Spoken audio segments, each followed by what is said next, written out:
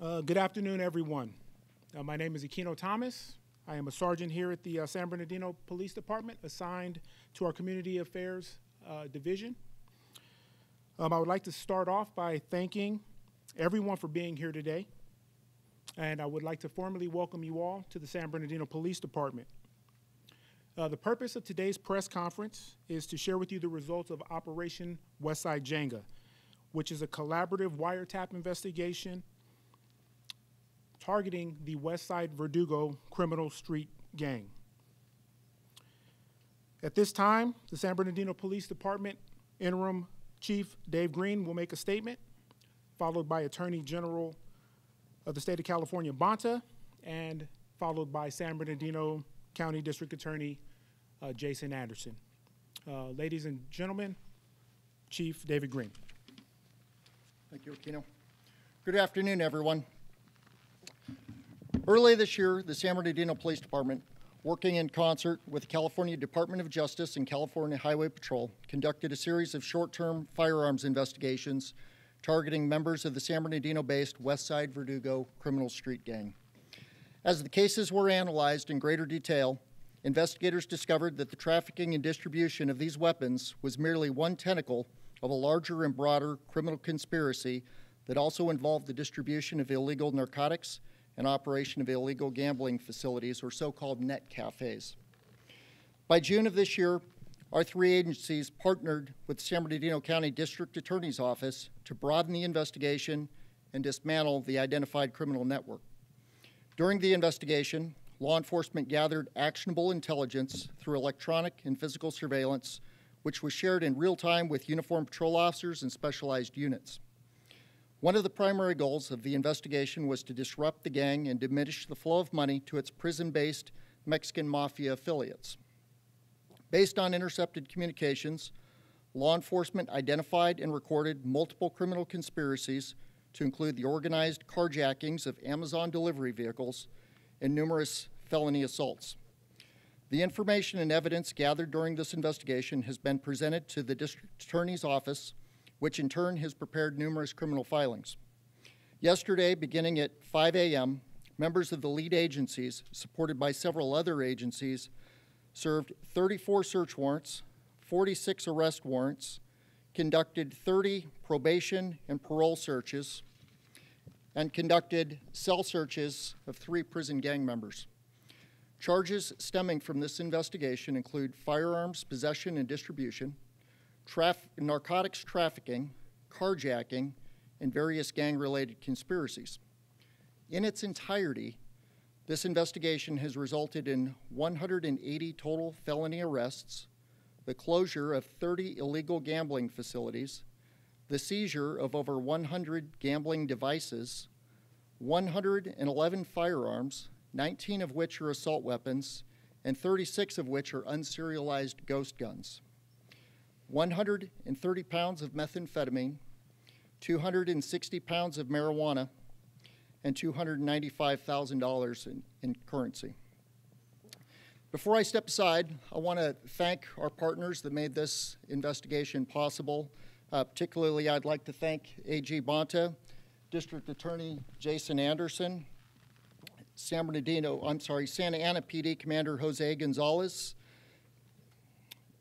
San Bernardino County Probation uh, Deputy Chief Kim Epps, and DOJ Bureau of Investigation Director Stephen Woolery.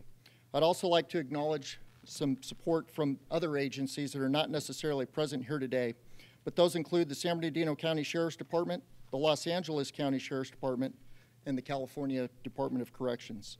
With that, I'll turn it over to the Attorney General, Rob Bonta.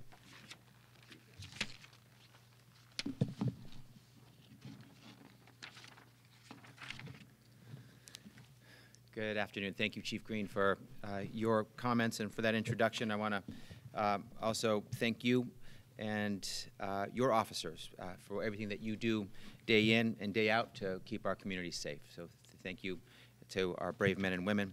Uh, good afternoon, everyone. As, as the Chief just made clear in his remarks, the people of San Bernardino can go to bed tonight knowing that their communities are safer because of this joint and collaborative effort.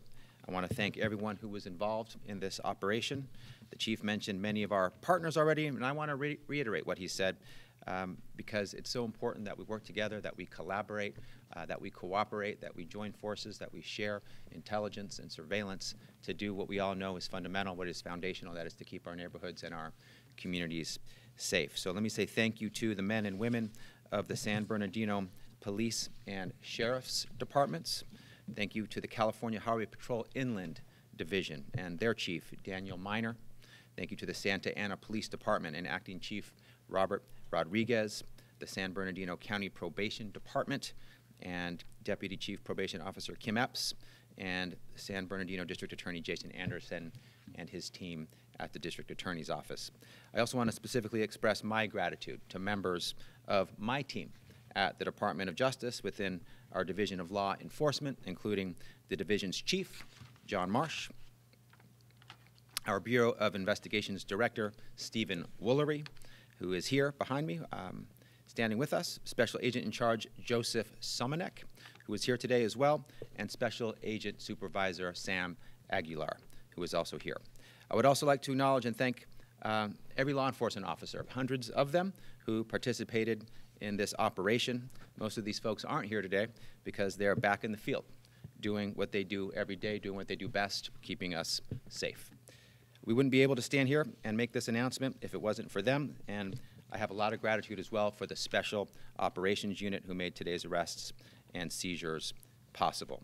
The Special Operations Unit, in my view, is a bright example of what can be done when we work together.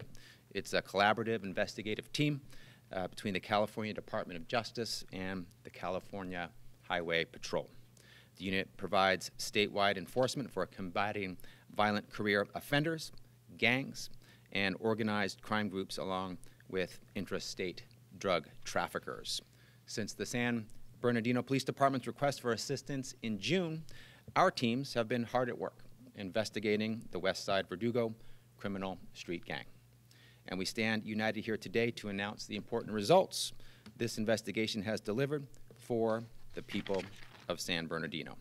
Working as a team, we executed search and arrest warrants at numerous sites. Over the course of this investigation, we seized over 110 firearms, including 19 assault weapons and 92 handguns. We seized hundreds of pounds of methamphetamine, cocaine, heroin, and fentanyl that are no longer on the street. We arrested 180 individuals suspected of multiple violent crimes, including assault, attempted murder, and murder. We also shut down 30 illegal gambling facilities and seized over 100 illegal gambling machines and devices that bankrolled, that fueled the street gangs' illegal activities. These illegal gaming establishments brought in tens of thousands of dollars a week for the gang and were linked to serious crimes, including five murders in 2021 alone. Additionally, throughout this investigation, numerous violent crimes were prevented, were intercepted, including shootings and armed robberies. And evidence collected during the investigation also assisted in solving two homicides in the area. So this operation is proof. It's proof of what's possible when we work together to deliver results for the communities that we serve. Uh, we're putting serious criminals behind bars with today's efforts, and I'm proud of these results as Attorney General, but I'm also proud as a father to three kids. Every child in California deserves to grow up in a safe neighborhood, a neighborhood that is uh, free from violence, a neighborhood without gun violence, a neighborhood without crime. So every walk to school uh, and every walk back home is a safe one. That includes uh, the children of those that we arrested today. We must do all we can to support these kids and their communities to build trust between their neighborhoods and law enforcement and continue to make efforts to stop cycles of crime from perpetuating. Every person up here has a family. I love my family dearly. I know they do too. Everyone in this room, it's the same. Uh, this work is personal for all of us. And for each of us here today, there is no job more important than ensuring public safety. It's job number one. Again, it's foundational. Uh, each of us swore an oath to defend the people of this state, and uh, as is on full display today, our teams have fulfilled that oath. I would again like to thank the brave men and the brave women who put their lives on the line to protect others and who made these arrests possible. Today, we're sending a strong message that if you commit crime in California, you will be held accountable. With that, let me turn it over to San Bernardino District Attorney Jason Anderson. Thank you, Attorney General Bonta. I appreciate your presence being here today and collaborating with us, uh, with your personnel from DOJ. We appreciate that relationship. Uh, Chief, I want to particularly thank you also. Uh, as I look around the room, I see a lot of familiar faces because of the wonderful local partnerships that we have between our office and uh, the men and women in your department. And I want to make note that, particularly in this year, to be able to produce what we see over here to the right, uh, when your agency uh, has um, been uh, in, in, in some instances, even your personnel attacked on the street. Uh, several officers shot this year, uh, and uh, fortunately, they will all recover. Um, obviously, operations like this are what prevent that from happening in the future. Um, we are always happy to collaborate with our partners all over the state, the other agencies that are represented here. Um, just a couple of the numbers that I want to be able to give to you. Uh, currently, as of today, as a result of these investigations, we have uh, filed charges on 45 defendants. Uh, six of those defendants potentially are looking at a third strike disposition in terms of their sentence.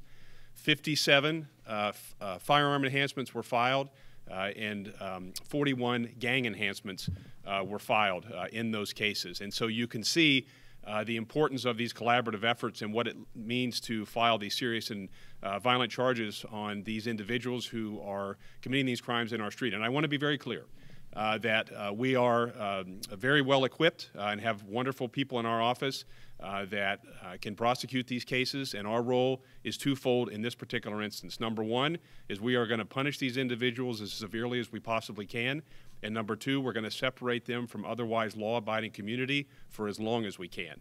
And we can do that because of the efforts that are on display here.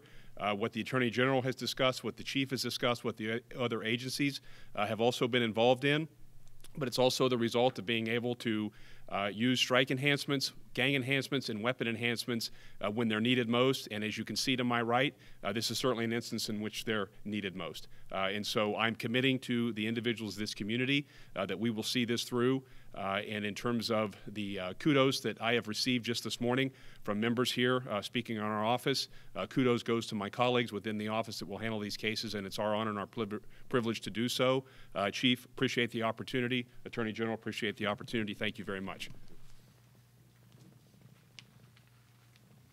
Uh, This concludes the formal comments. At this time, I would actually like to open it up for questions.